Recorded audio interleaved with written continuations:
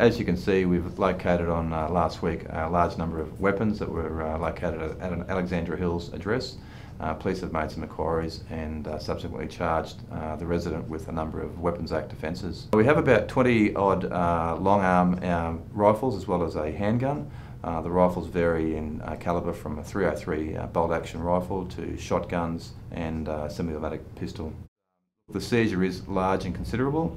Uh, it does reflect what's out there in the greater community in relation to uh, un unregistered uh, firearms and, and weapons.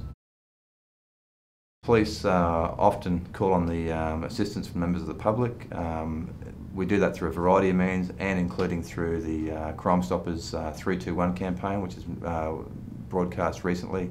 it's a campaign driven to reduce the weapons throughout the community. Um, in this instance, we've made a number of inquiries which have also included the um, uh, examining the address where we've uh, searched today. In this instance, this person uh, has got no previous criminal history. Uh, it does highlight the uh, example of people that wish to store uh, weapons in, a, in an unsecured manner.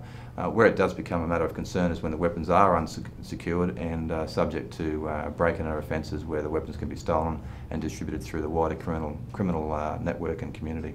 I think the community um, it's in their benefit to report any um, activity of illegal firearms or persons that they may believe are engaged in criminal activity with, with a firearm. And they can do that through a number of mediums, but in, also included through the uh, Crime Stoppers campaign on 1800 333 000.